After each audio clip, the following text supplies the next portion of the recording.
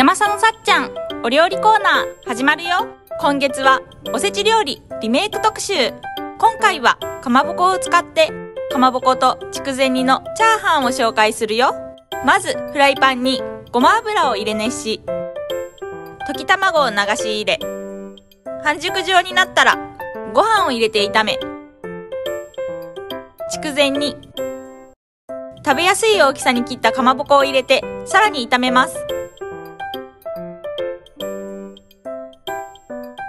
そこに鶏ガラスープの素。